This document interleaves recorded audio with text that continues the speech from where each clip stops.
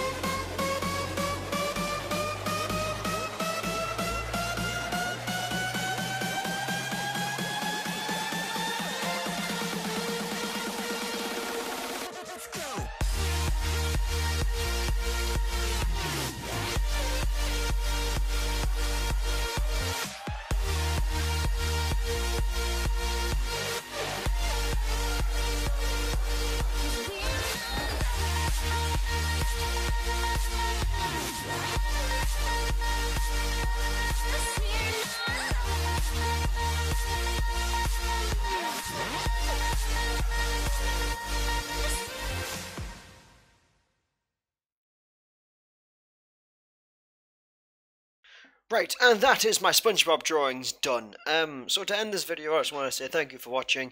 Uh, you can probably tell that I don't use my tablet that much, and so this is a nice little comparison um, of them both.